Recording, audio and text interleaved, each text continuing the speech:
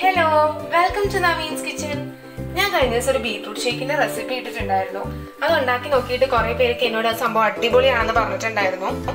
അപ്പം അത് കാണാത്തവരെല്ലാം തീർച്ചയായിട്ടും ബീറ്റ്റൂട്ട് ഷേക്കിന്റെ വീഡിയോ പോയി കാണുക. ഉണ്ടാക്കി നോക്കുക. അടിപൊളി ടേസ്റ്റ് ആണ്. എല്ലാവരും തീർച്ചയായും ട്രൈ ചെയ്ത് നോക്കണം. ഇന്ന് ഞാൻ വന്നിരിക്കുന്നത് ഒരു സ്പെഷ്യൽ ബിരിയാണിന്റെ റെസിപ്പി ആയിട്ടാണ്. നമ്മൾ എപ്പോഴും ഉണ്ടാക്കുക ചിക്കൻ ബിരിയാണി അല്ലെങ്കിൽ ബീഫ് ബിരിയാണി ഒക്കെയാണ്. ഇത് അതൊന്ന് വെറൈറ്റി ആയിട്ട് ഒരു വളരെ സ്പെഷ്യൽ ബിരിയാണിയാണ്. ഇതിനകത്ത് നമ്മൾ ചിക്കൻ ഉപയോഗിക്കുന്നില്ല ബീഫ് ഉപയോഗിക്കുന്നില്ല അല്ലെങ്കിൽ നോൺ വെജ് ആയിട്ടുള്ള ഓരോ ഐറ്റംസും യൂസ് ചെയ്യുന്നില്ല. ഇനി അങ്ങനെ അല്ലെങ്കിൽ ഇതൊരു വെജ് ബിരിയാണി നല്ലതാണ് അപ്പം ഇതൊരു വെറൈറ്റി സ്പെഷ്യൽ ബിരിയാണിയാണ്. ഈ ബിരിയാണി എങ്ങനെയാണ് ഉണ്ടാക്കുന്നതിന് കാണുന്നതിന് മുമ്പ് നിങ്ങൾ നവീൻസ് കിച്ചൺ ആദ്യമായിട്ട് കാണുകയാണെങ്കിൽ തീർച്ചയായും ചാനൽ സബ്സ്ക്രൈബ് ചെയ്യുക. വീഡിയോ ഇഷ്ടപ്പെടുകയാണെങ്കിൽ ലൈക്ക് ചെയ്യുക ഷെയർ ചെയ്യുകയും ചെയ്യാം അപ്പൊ നമുക്ക് നമ്മുടെ സ്പെഷ്യൽ ബിരിയാണി ഉണ്ടാക്കുന്നത് എങ്ങനെയാണെന്ന് കണ്ടു നോക്കാം. ഇതിനു വേണ്ടി ഞാൻ പത്തല്ലി വെളുത്തുള്ളി മൂന്ന് പച്ചമുളക് ചെറിയ കഷ്ണം ഇഞ്ചി ഇത്ര എടുത്തിട്ടുണ്ട്. ഇത് നമുക്ക് ചെറുതായിട്ട് ഒന്ന് അരച്ചെടുക്കാം. അപ്പൊ ഞാനിത് അരച്ചെടുത്ത് കൊണ്ടുവന്നിട്ടുണ്ട്. ഈ പേസ്റ്റ് നമുക്ക് മാറ്റി വെക്കാം. ഇനി നമുക്ക് കുറച്ച് സ്പൈസസ് ഒന്ന് വറുത്തെടുക്കുകയാണ് വേണ്ടത്. അപ്പൊ ഞാൻ അതിനുവേണ്ടി ആദ്യം എണ്ണ വെച്ച് അതിലേക്ക് ഒരു പാനിലേക്ക് കുറച്ച് എണ്ണ ഒഴിച്ച് നമുക്ക് അതിലേക്ക് കുറച്ച് കിസ്മിസ് ഇട്ട് കൊടുക്കാം. എന്നിട്ട് അതൊന്ന് ചെറുതായിട്ടൊന്ന് വറുത്തെടുക്കാം. അപ്പം കിസ്മിസ് ഒക്കെ റെഡി ആയിട്ടുണ്ട്. നമുക്ക് വാങ്ങി വെക്കാം. ഇനി ആ പാത്രത്തിലേക്ക് കുറച്ചും കൂടെ എണ്ണ ഒഴിക്കാം. നമുക്ക് സ്പൈസസ് ഒക്കെ നന്നായിട്ട് ഒന്ന് വറുത്തെടുക്കാനാണ്. അപ്പം കുറച്ചും കൂടെ എണ്ണ ഒഴിക്കുക. എന്നിട്ട് അതിലേക്ക് ഞാൻ നാല് കഷ്ണം കറുവാപ്പട്ട അഞ്ച് ഏലക്ക പിന്നെ കുറച്ച് ഗ്രാമ്പു. അതൊരു ഏഴെട്ട് ഗ്രാമ്പു വറുത്തിരിക്കുന്നത് ഇത് നമുക്കൊന്ന് ചെറുതായിട്ടൊന്ന് എണ്ണയിലിട്ടൊന്ന് മൂപ്പിച്ചെടുക്കാം. അപ്പൊ നമ്മുടെ സ്പൈസസ് ഒക്കെ റെഡി ആയിട്ടുണ്ട്. ഇനി അതിലേക്ക് ഞാൻ മൂന്ന് മീഡിയം സൈസ് സവാള ചെറുതായിട്ട് അരിഞ്ഞത് ചേർത്ത് കൊടുക്കുകയാണ്. ഇത് നമുക്ക് നന്നായിട്ട് നന്നായിട്ടൊന്ന് വഴറ്റിയെടുക്കണം. അപ്പൊ നമുക്ക് ഇതെല്ലാം കൂടെ ഒന്ന് മിക്സ് ചെയ്ത് നന്നായിട്ട് വഴറ്റിയെടുക്കാം. ഇതിപ്പോ അത്യാവശ്യം വഴറ്റ വന്നിട്ടുണ്ട്. ഇനി അതിലേക്ക് ഞാൻ നമ്മൾ നേരത്തെ മിക്സ് ചെയ്തെടുത്ത് അരച്ച് വെച്ച ജിഞ്ചർ ഗാർലിക് പേസ്റ്റ് ഒരു ടേബിൾ സ്പൂൺ ചേർത്ത് കൊടുക്കുവാണ്. അതും കൂടി ചേർത്ത് നമുക്കിത് നന്നായിട്ട് ഒന്ന് മിക്സ് ചെയ്തെടുക്കാം.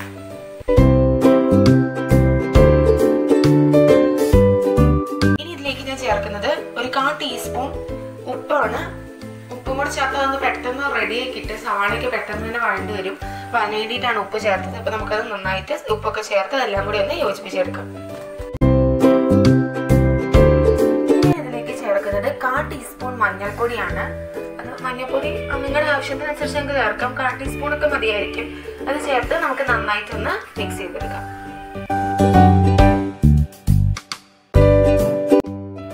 ഇതിലേക്ക് ചേർത്ത് കൊടുക്കുന്നത് രണ്ട് തക്കാളിയാണ്. തക്കാളി കുഞ്ഞതായിട്ട് അരിഞ്ഞത് വേണം ചേർത്ത് കൊടുക്കാൻ. വളരെ ചെറുതായിട്ട് അരിഞ്ഞിട്ട് വേണം ചേർക്കാൻ. അത് നന്നായി ചേർത്ത് നമുക്കിനി ഈ തക്കാളി എല്ലാം നന്നായിട്ട് വഴണ്ട് വരണം. അപ്പം ഈ സവാളയൊക്കെ ആയിട്ട് അത് നന്നായിട്ട് മിക്സ് ചെയ്തെടുക്കാം. എല്ലാം കൂടെ നന്നായിട്ട് മിക്സ് ചെയ്തെടുത്തിട്ടുണ്ടെങ്കിൽ നമുക്കിത് കുറച്ച് സമയം ഒന്ന് അടച്ചു വെച്ച് ഇതിപ്പോ ഞാനൊരു മൂന്ന് നാല് മിനിറ്റ് വെച്ചിട്ടുണ്ടാവുള്ളൂ. അത്രയും സമയമൊക്കെ ഇത് കുറച്ചൊക്കെ ഒന്ന് വെന്ത് വന്നിട്ടുണ്ട്.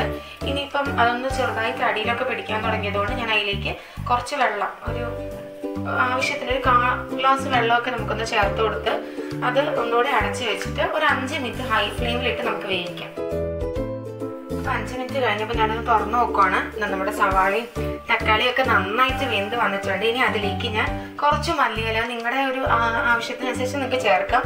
ഞാനിപ്പോൾ കുറച്ചേ ചേർക്കുന്നുള്ളൂ. ബാക്കി നമുക്ക് അവസാനം ബിരിയാണിയിലോട് ചേർത്ത് കൊടുക്കാനുള്ളതുകൊണ്ട് കുറച്ച് മല്ലിയില ചേർത്തിട്ടുണ്ട്.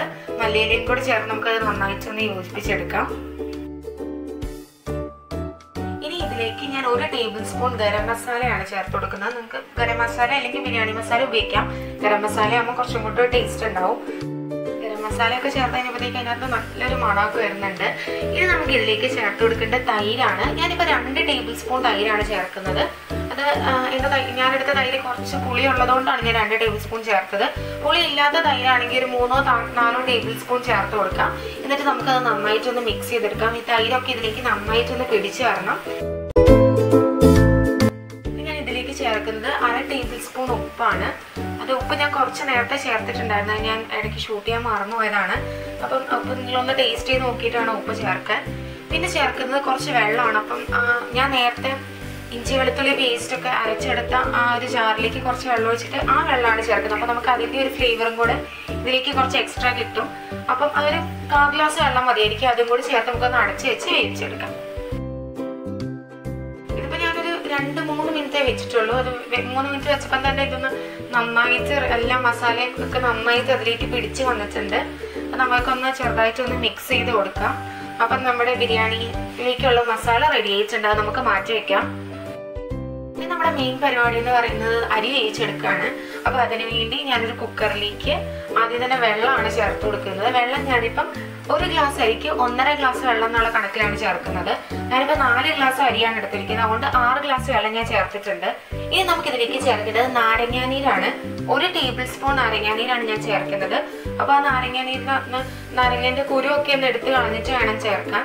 അപ്പം ഈ നമ്മുടെ അരി അധികം ഒട്ടിപ്പിടിക്കാണ്ടിരിക്കാൻ വേണ്ടിയിട്ടാണ് നമ്മൾ നാരങ്ങാനീര് ചേർക്കുന്നത്. ഇനി അതിലേക്ക് ഉപ്പ് നമ്മൾ ചേർത്ത് കൊടുക്കണം.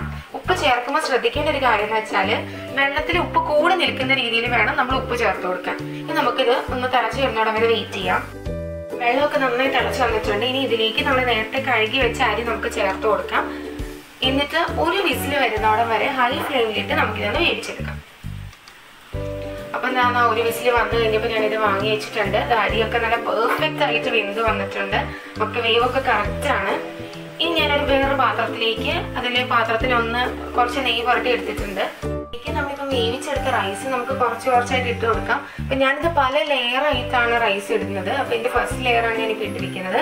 ഇതിന്റെ മുകളിലേക്ക് ഞാനൊരു കാ ഗ്ലാസ് വെള്ളത്തിൽ അര ടീസ്പൂൺ മഞ്ഞൾപ്പൊടി മഞ്ഞൾപ്പൊടി കലക്കിയിട്ട് എടുത്ത വെള്ളമാണ്. അതൊരു ആ ഒരു മഞ്ഞ കളർ കിട്ടാൻ വേണ്ടിയിട്ടാണ്. അതൊന്ന് കുറച്ചൊന്ന് അതിന്റെ മുകളിലേക്ക് ഒഴിച്ചു കൊടുത്തിട്ടുണ്ട്.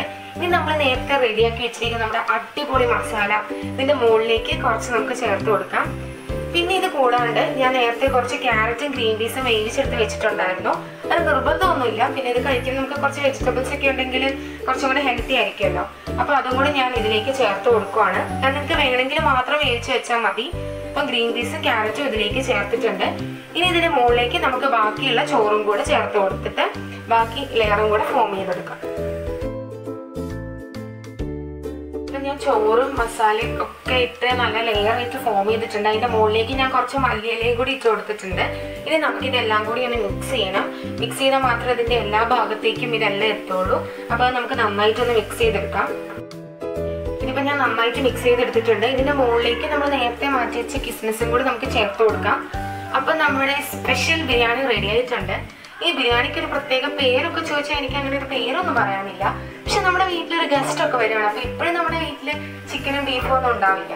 പക്ഷെ നമുക്ക് അതേ ഫ്ലേവറിൽ അതേപോലുള്ള ഒരു അടിപൊളി സാധനം ഒരു ഫുഡ് അവർക്ക് കൊടുക്കണമെങ്കിൽ നമുക്ക് തയ്യാറാക്കാൻ പറ്റുന്ന ഒരു ബിരിയാണിയാണിത്. അടിപൊളി ടേസ്റ്റ് ആണ്. നമ്മൾ ചിക്കൻ ബിരിയാണി ഒക്കെ ഉണ്ടാക്കണ അതേ ഒരു ഫ്ലേവർ ആയിരിക്കും ഈ ഒരു ബിരിയാണിക്കും. നല്ല ടേസ്റ്റ് ആണ്. അപ്പൊ എല്ലാവരും തീർച്ചയായിട്ടും ട്രൈ ചെയ്ത് നോക്കണം. അടുത്ത തവണ നമുക്ക് പുതിയൊരു റെസിപ്പിയുമായി വീണ്ടും കണ്ടുമുട്ടാം.